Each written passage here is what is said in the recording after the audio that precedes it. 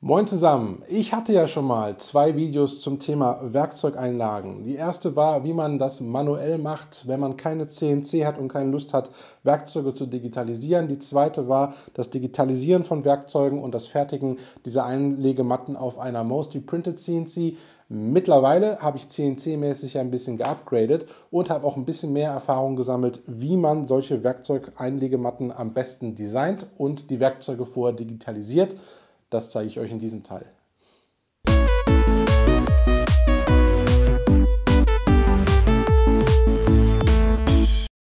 Das Digitalisieren von Werkzeugen ist eigentlich nur A. Werkzeug fotografieren, B. Werkzeug vom Hintergrund freistellen.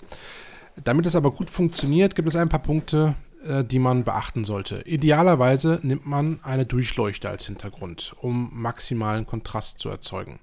Sowas habe ich aber nicht und schaffe ich mir auch nicht extra an. Deshalb habe ich ein LED-Panel, äh, das ich noch hatte, genommen. Ein Tablet, das ein weißes Bild anzeigt, bei maximaler Hintergrundbeleuchtung funktioniert genauso.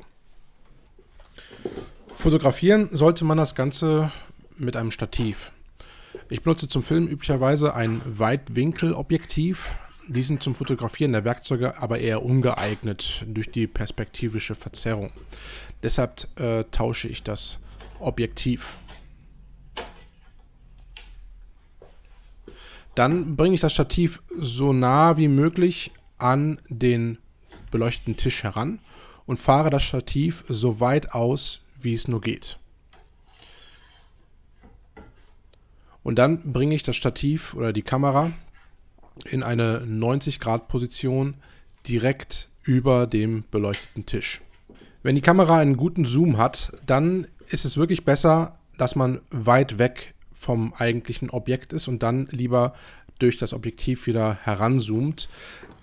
Dann nehme ich mir ein Blatt Papier als Hintergrund das nehme ich nur, um die äh, starke Hintergrundbeleuchtung durch das LED-Panel ein bisschen abzumildern. Wenn das immer noch zu stark ist und wenn man merkt, dass es immer noch überbeleuchtet ist, das Bild, dann einfach noch ein zweites Blatt Papier oben drauflegen. Meine Kamera hat in diesem Fall Sensoren, damit ich die Kamera winklig zum Tisch ausrichten kann. Das äh, hat lange nicht jede Kamera, ist auch nicht unbedingt notwendig. Einfach dann versuchen mit dem Auge ähm, abzuschätzen, ob die Kamera wirklich winklig steht. Dann versuche ich das Objekt in die Mitte des Bildes zu bringen und zoome mit dem Objektiv so weit ran wie möglich, damit das größte Objekt auf dem Bild noch Platz findet. Durch die hohe Position der Kamera und dann das Heranzoomen wieder auf das eigentliche Objekt werden Fehlerquellen durch das Objektiv nochmal weiter gemindert. Um maximalen Kontrast zu erreichen, erhöhe ich die Tiefenschärfe etwas. Und danach nehme ich den niedrigsten ISO-Wert, den ich an der Kamera einstellen kann, um die starke Hintergrundbeleuchtung etwas einzudämmen. Wie man sieht, hat man jetzt einen sehr guten Kontrast. Und in dieser Position und mit diesen Einstellungen fotografiere ich jetzt die einzelnen Werkzeuge von oben einfach ab.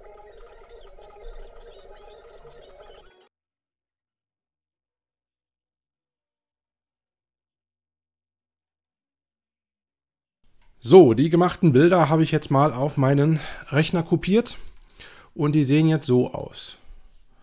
Also da sieht man jetzt von den Details vom Werkzeug selber nicht besonders viel. Das ist auch gewollt, denn man soll ja vor allem die Umrandungen, also die Konturen des Werkzeugs selber gut erkennen können.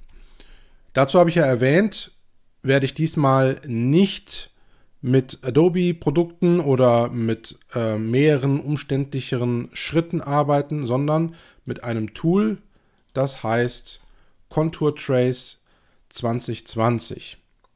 Contour Trace ist eine spezialisierte Software, die Konturen extrahieren kann. Und ich zeige euch mal, wie das Ganze funktioniert. Wir nehmen jetzt einfach mal die große Messschraube und da sehen wir, da hat er auch schon ein paar Konturen erkannt. Hier so am Blatt entlang und rund um das Werkzeug. Die am Blatt benötigen wir natürlich nicht. Wir sehen auch hier unten, der hat 144 Konturen insgesamt gefunden. Die äh, brauchen wir nicht. Wir brauchen nur eine Kontur. Deswegen gucken wir erstmal bei der Erfassung, dass wir nur die Außenkonturen erfassen. Und dann schneiden wir das Bild so zu, dass er nur den Ausschnitt vom Werkzeug selber hat. Dazu gehen wir hier in diese Reiterleiste. Das stellt die Verarbeitungspipeline dar.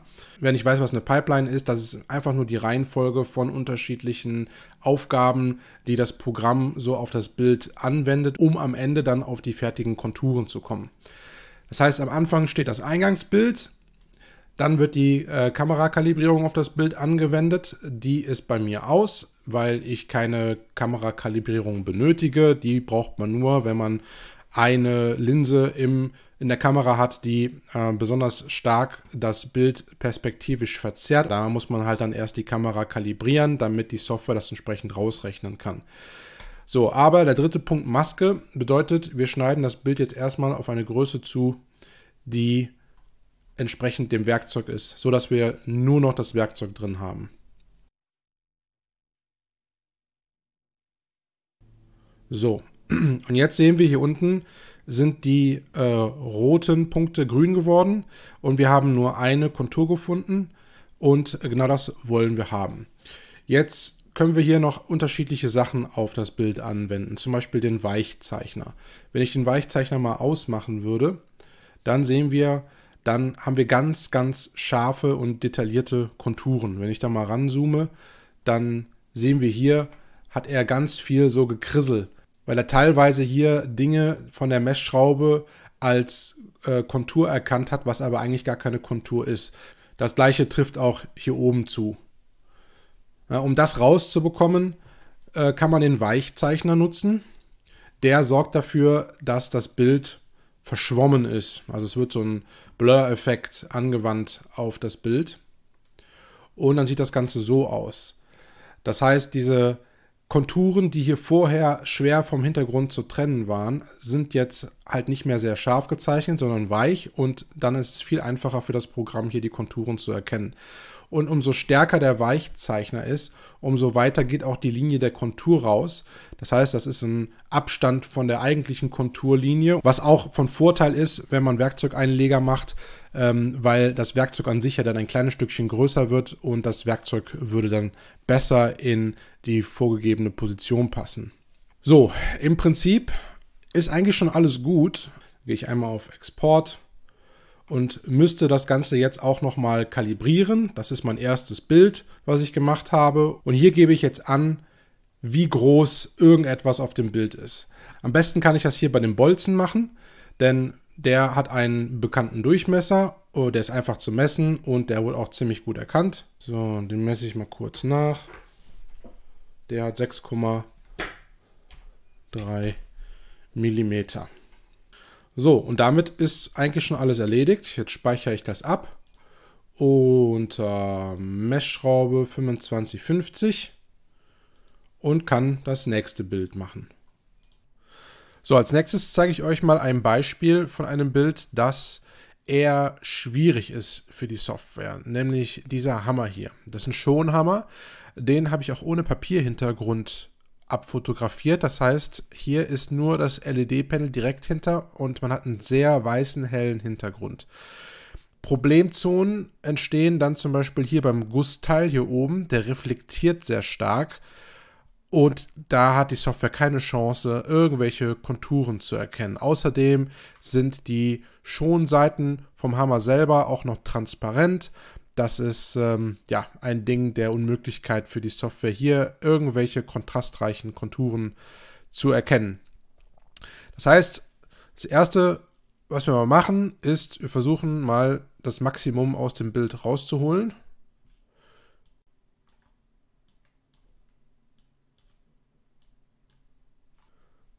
Man sieht selbst jetzt mit der definierten Maske, also dem Ausschnitt vom Bild, hat er immer noch drei Konturen erkannt. Vielleicht kann man noch irgendwas mit dem Weißzeichner machen, aber das sieht mir nicht so aus, als könnte man da noch irgendetwas rausholen. Jetzt der Schwarz-Weiß-Filter. Der wird auf jeden Fall noch mal ein bisschen was machen können. Wir ziehen mal den Schwarzwert hoch. Da sieht man dann auch, dass der Stiel direkt breiter wird. Ziehen noch mal ein bisschen mehr hoch. Noch was mehr. Irgendwann, wenn man es übertreibt, dann wird halt der ganze Hintergrund schwarz. Und hier sehen wir, jetzt haben wir schon die äh, Schonseiten des Hammers mit dabei. Dadurch, dass wir die Schwarzwerte nach oben korrigiert haben. Und jetzt vergleichen wir mal die Konturen dann mit dem Original. Und da sehen wir, da ist auf jeden Fall einiges passiert. Der Stiel ist jetzt voll drin, die Schonseiten des Hammers sind voll drin. Und selbst hier oben am Gussteil, da wo es auch stark reflektiert, hat er Konturen erkennen können. Nur hier unten, da ist es immer noch ein Ding der Unmöglichkeit für die Software, irgendetwas äh, zu erkennen. Und das wird man auch durch weitere Filtermöglichkeiten in diesem Tool hier nicht beheben können. Aber da gibt es einen anderen Trick, da helfen wir der Software auf andere Weise. Wir öffnen das Bild jetzt einfach mal in Paint. Also brauchen da keine spezielle Software für. Paint reicht da vollkommen aus. Und wir helfen der Software insofern, dass wir ihr einen Tipp geben, wo die Kontur denn hier vom Hammer entlang läuft. Dazu nehme ich mir das Linientool im Paint und das Einzige, was ich mache, ist, ich ziehe hier einen Strich. So. Und das Bild speichere ich so ab.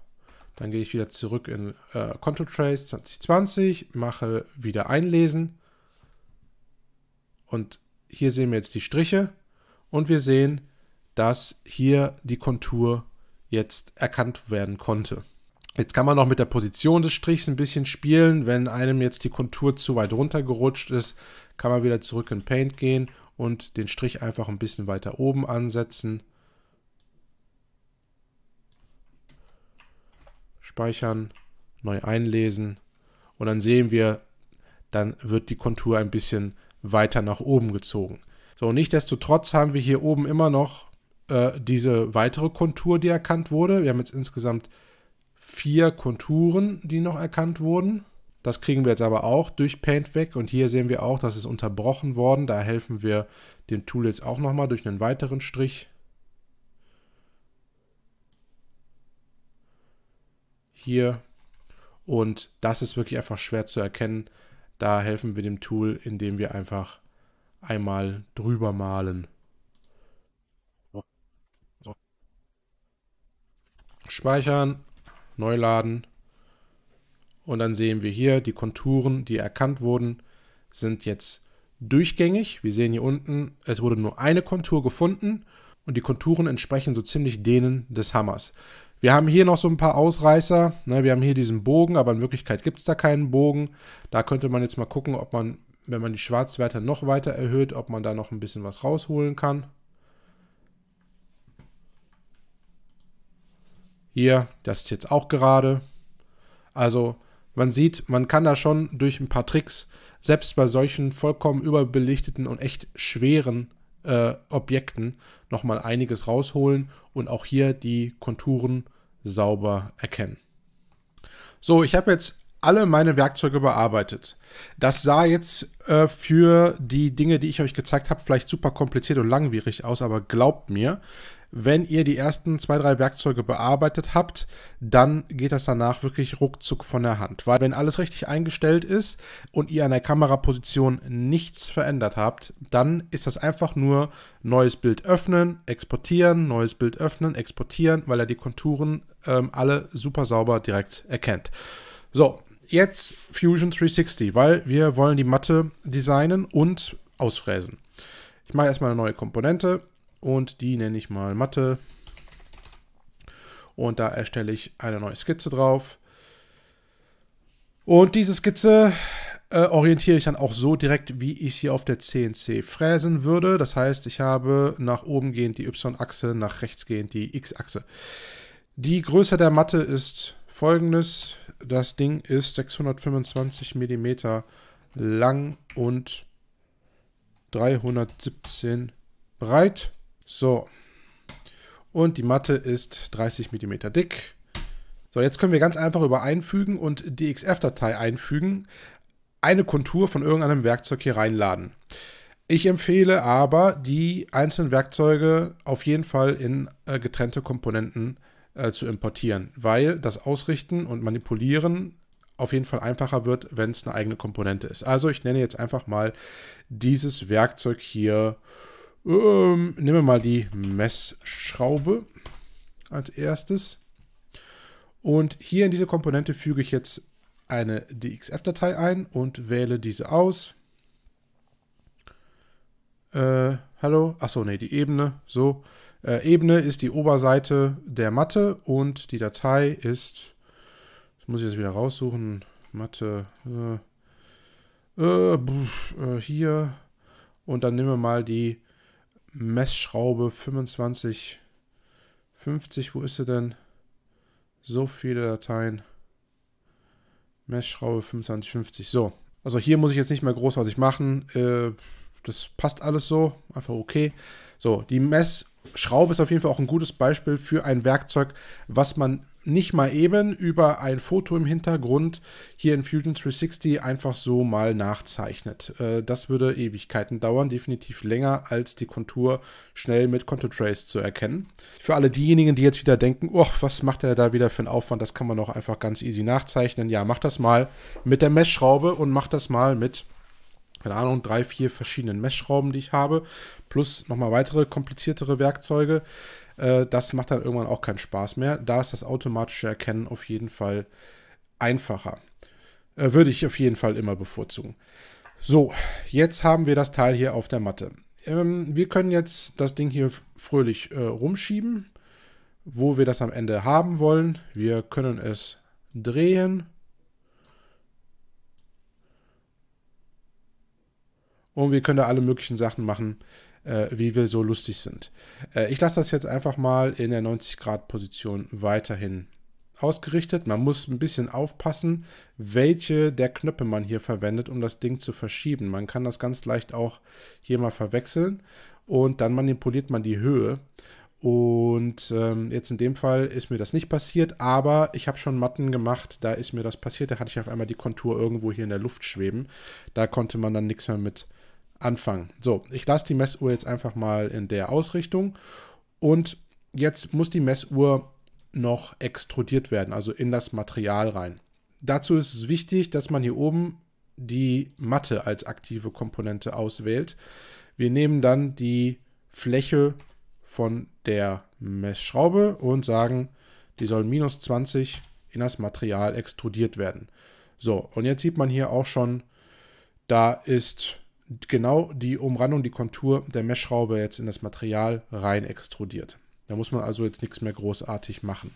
Das Einzige, was man vielleicht machen sollte, also speziell bei filigraneren Teilen, wo hier der Messbolzen dran ist oder bei Messuhren unten mit der Messnadel, die können ruhig ein bisschen breiter ausfallen. Dann ist es einfacher, das Werkzeug da reinzulegen und rauszuholen. Und gerade bei Messuhren ist es so, ich zeige euch das jetzt mal einfach bei einem Messtaster. Da ist es nämlich besonders blöd. Messtaster und dann füge ich mal den äh, auf die Matte und ich nehme mal den Messtaster, den da. So. Also auch wurscht, wo der jetzt ausgerichtet ist, das können wir alles so lassen. Was man hier unten sieht, ist, hier unten ist ja die Tastnadel und die ist, also der Kopf ist vielleicht 2 mm breit oder so, 3 mm maximal.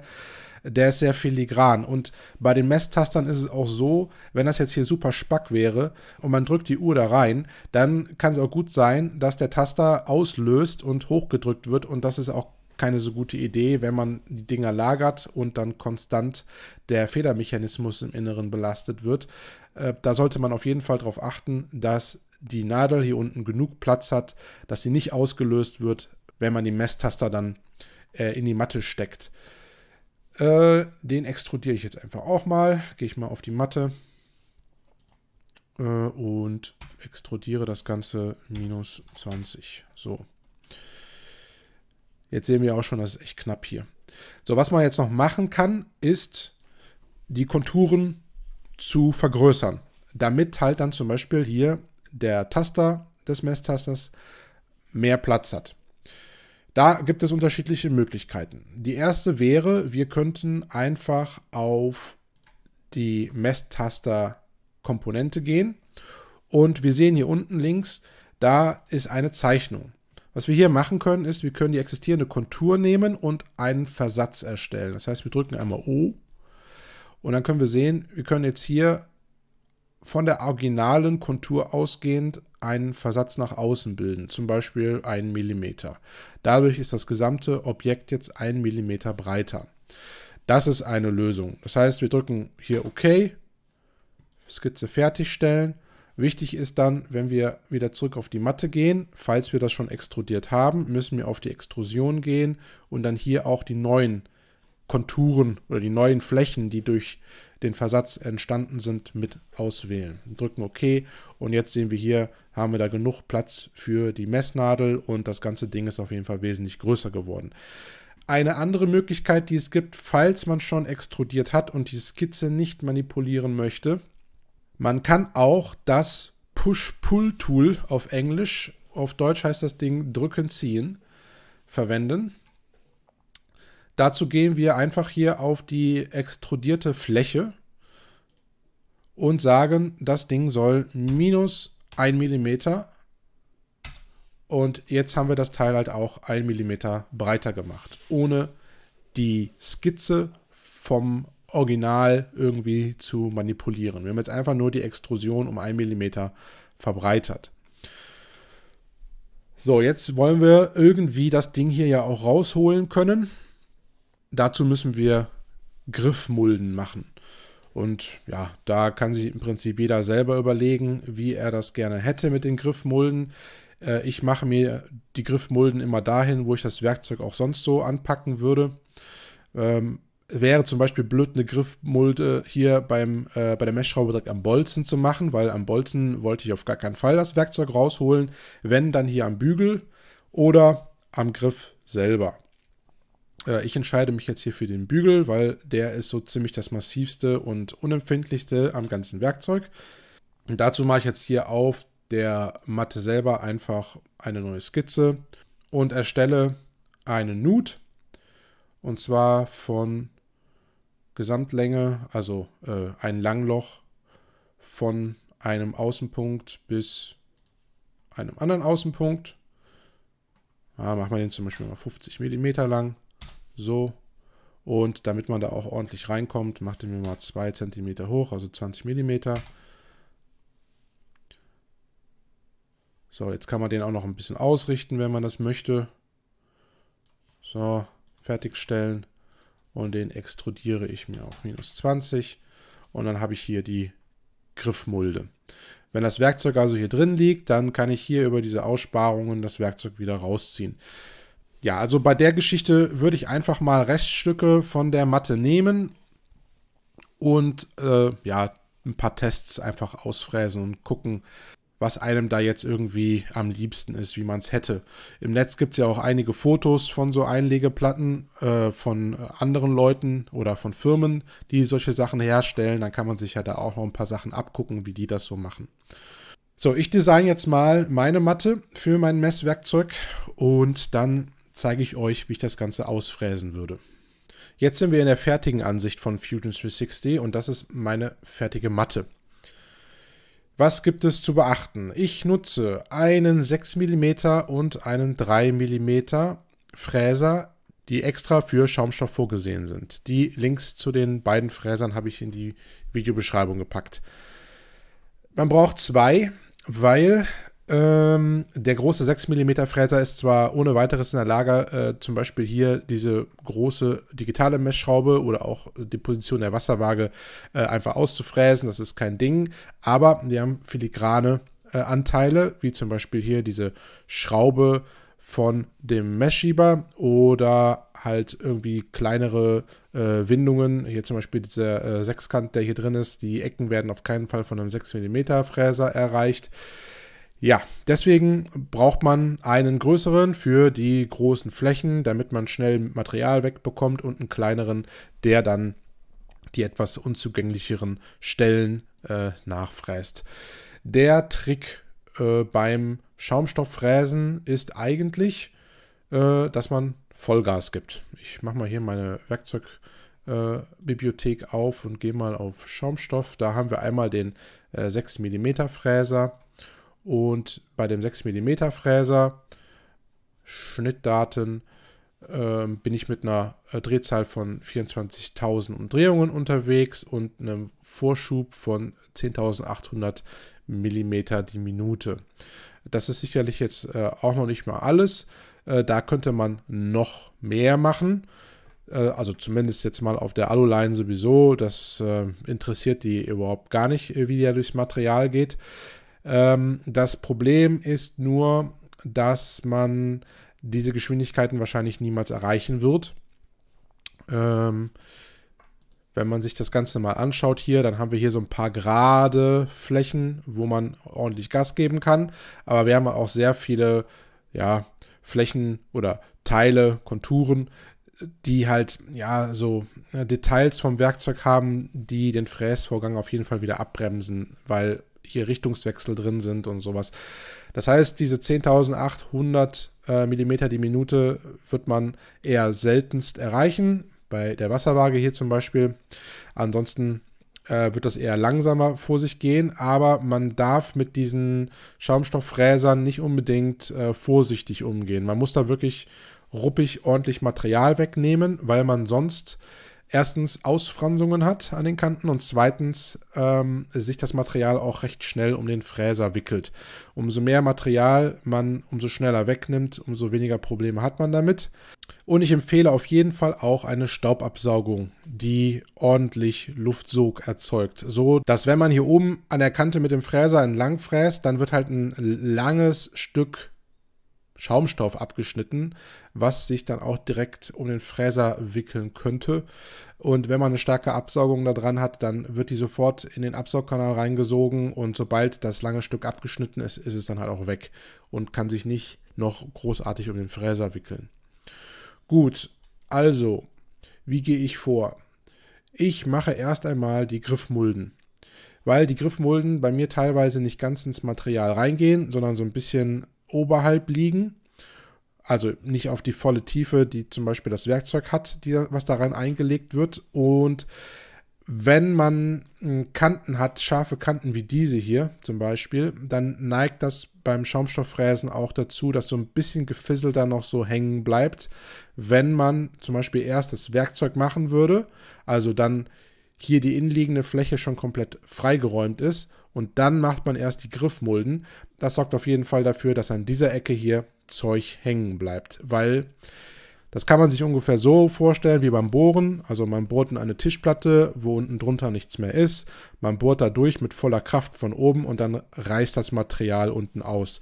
So ist das halt auch hier. An der Stelle wäre kein Material mehr, was diesen Schnitt hier in irgendeiner Form unterstützt und das äh, Material ist halt so biegsam, dass es dann nicht mehr abgefräst oder geschnitten würde, sondern das franzt halt hier an der Kante aus.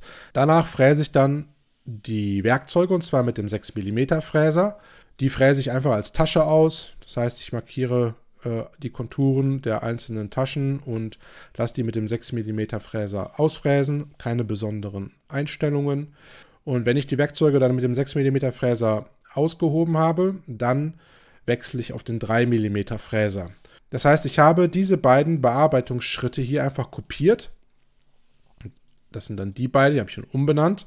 Und habe bei diesen Bearbeitungsschritten einfach nur den 3 mm Fräser ausgewählt und bin unter Geometrie in die Restmaterialbearbeitung gegangen und habe hier definiert, vor diesem Bearbeitungsschritt in exakt den gleichen Taschen äh, schon mal ein Fräser unterwegs war und der hat 7 mm gehabt. So, jetzt wissen wir, der Fräser hatte eigentlich nur 6 mm, aber wenn man das ein bisschen größer macht, dann ist mein Erfahrungswert, äh, fräst er tatsächlich alle Stellen aus, die der 6 mm Fräser nicht erreichen konnte. Wenn man das genau auf 6 mm macht, dann habe ich schon festgestellt, dass teilweise Zeug stehen bleibt, weil Fusionist 360 der Meinung war, äh, da hätte der äh, 6 mm Fräse doch hingekommen und in Wirklichkeit war er aber gar nicht da. So, und was ich auch ändere, ist, dass ich hier eine Einfahrt aktiviere. Das ist deswegen so, ähm, dass äh, der Fräser teilweise ähm, filigranere Stellen äh, nachfräsen muss, die teilweise schon Material weghaben. Und damit das halt nicht so äh, ausgefranst wird, am Ende aktiviere ich die Einfahrt. Ähm, ja, das äh, kann man einfach mal selber ausprobieren, äh, mit was man jetzt hier bessere Ergebnisse ähm, bekommt. Ich habe die Erfahrung gemacht, dass wenn ich Einfahrt bei, den, bei der Restmaterialbearbeitung aktiviere, dass es dann etwas besser wird. So, das war alles. Die Bearbeitungspfade, die man hier sieht, ähm, entsprechen genau dem, was man haben möchte. Man sieht hier, der fährt halt nur an die Stellen rein, wo der 6 mm Fräser nicht mehr hingekommen ist. Und genau an solchen Kanten hier zeigt sich halt der Unterschied zwischen aktiviertem Einfahren ins äh, Material und deaktiviertem. Dadurch, dass hier nicht mehr viel zu bearbeiten ist, wird die Kante sauberer, wenn man Einfahrt aktiviert hat. So, es gibt dann aber, wenn das Ding hier durch ist und alles ausgefräst hat, trotzdem noch Problemstellen, nämlich zum Beispiel diese ähm, Messtasternadeln. Die wird auch der 3 mm Fräser, wie man hier sieht, nicht ordentlich ausfräsen. Diese Spitze hier unten, die will er einfach nicht fräsen. Und da muss man Fusion 360 einfach davon überzeugen, dass das äh, trotzdem eine gute Idee wäre, die auszufräsen. Und was ich da mache, ist, ich gehe zurück in die äh, Designansicht, äh, beziehungsweise in Deutsch die Konstruktionsansicht. Und wenn man hier auf die Matte geht, dann sieht man, habe ich hier eine Skizze erzeugt und diese Skizze hat nur hier eine Linie und da eine Linie drauf. Und diese Skizze lasse ich mir dann in der Fertigungsansicht einfach anzeigen. Ich gehe einfach hier unter Modelle, Matte, Skizzen und das ist die einzige Skizze, die angezeigt wird. Und dann mache ich eine Operation unter 2D, die nennt sich Projektion. Und in der Projektion markiere ich dann diese Linien aus der Skizze als Kurvenauswahl. Also hier sieht man blau markiert das ist die Kurve, die ich abfahren möchte. Leider kann ich nicht beide nehmen, weil es sonst äh, Probleme gibt. Das geht mit einer Projektion nicht. Da muss ich halt dann zwei Projektionen draus machen. Aber ich wähle diese Linie aus und sage dann, dass der axiale Versatz, also unter Durchgänge, gibt es den Punkt, dass ich hier einen axialen Versatz äh, auswählen kann. Ähm, und äh, den äh, setze ich dann auf minus 25 mm. Also das ist dann ähm, die Tiefe, die die Messuhr in äh, dieser äh, Tasche halt hätte. Und ja, da fährt er einfach nur mal stumpf drauf. Ähm, das Gute ist, dass man bei einer Projektion auswählen kann, wie diese Linie hier verfolgt werden soll. Also man kann sagen, dass sie an der Außenkante verfolgt werden soll. Man kann sagen, dass der Fräser im Zentrum entlangfahren soll. Und das ist genau das, was ich hier brauche. Der Fräser soll im Zentrum dieser Linie einmal hier entlangfahren auf der Tiefe der äh, Tasche und damit hätte man dann am Ende auch die, äh, den Taster hier ordentlich ausgefräst. Das Ganze mache ich mit dem 3 mm Fräser. Wie gesagt, ich habe nochmal eine Kopie von dem Ganzen gemacht, um halt auch die Tasternadel für, die, für den zweiten Messtaster entsprechend auszufräsen. Ja, das war im Prinzip alles, was man so beachten muss. Ähm, man kann sicherlich manche Teile hier drin auch noch ein bisschen vereinfachen, damit der Fräsvorgang etwas effektiver funktioniert und nicht so ganz viele Punkte erzeugt. Aber das ist dann so Optimierungsgedönse, was ich jetzt zum Beispiel hier überhaupt gar nicht benötigt hätte, weil ich fräse mir die Matte hier einmal und ja, die Zeit in dem Fall habe ich dann einfach und meine Fräse kriegt das schon hin. Gut, ich fräse das Teil jetzt und dann schauen wir mal, wie das Ergebnis wird und ob all das, was ich hier in Optimierungen eingebaut habe, tatsächlich funktioniert.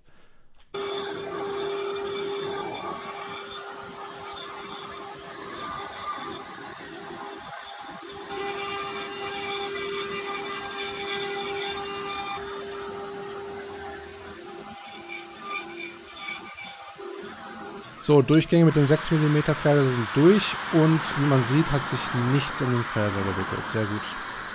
Dann kommt die Nachbearbeitung mit dem 3 mm Fräser. Leider habe ich immer noch keine gute Kameraposition, um den Fräser selber auch zu sehen. Deswegen sage ich jetzt einfach mal, dass alles gut funktioniert und wir gucken uns jetzt mal das Endergebnis an.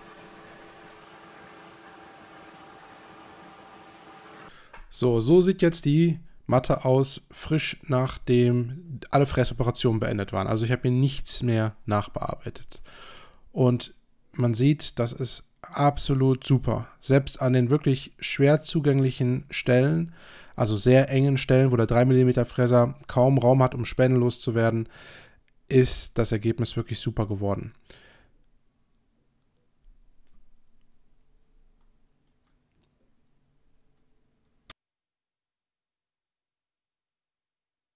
Dann wird diese Einlage eingeräumt und das war für mich der spannende Punkt, ob auch tatsächlich alles passt. Und ich bin wirklich super zufrieden, wie diese Matte am Ende rausgekommen ist. Ich habe sie nicht nochmal irgendwie nachbearbeitet. Alle Kanten waren extrem sauber gefräst. Ich bin wirklich mehr als zufrieden.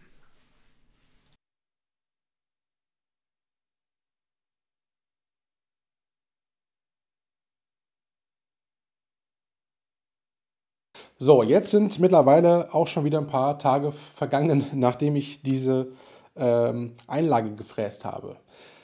Äh, womit bin ich nicht so zufrieden? Also, meiner Meinung nach sind ein paar Sachen ein bisschen zu eng geworden. Zum Beispiel hier für den Messschieber, die Aussparungen sind mir ein bisschen zu eng geraten. Ähm, das äh, ja, hätte ein kleines bisschen ähm, weiter sein können. Äh, und ich habe auch äh, Aussparungen vergessen, um zum Beispiel diese Messschraube hier rauszunehmen. Die ist jetzt da schön drin, aber die kriege ich äh, nur mit sehr viel Umstand da wieder raus. Das muss ich entsprechend ähm, nochmal anders lösen. Aber sonst muss ich sagen, habe ich jetzt viele Messwerkzeuge auch regelmäßig benutzt und ähm, ja, ich bin eigentlich total zufrieden ähm, vom Gesamtergebnis her.